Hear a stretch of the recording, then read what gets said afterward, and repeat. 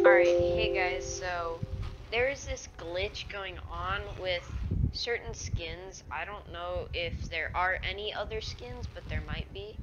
So there's this price skin right here, one of the new skins in the battle pass, which it's doing this weird glitch where it's kind of moving all over the place.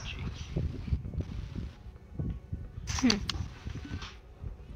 Oh wow, you are. Oh yeah, you're glitchy on my screen too. Oh Except yeah. it's just you. Let me see. Oh yeah.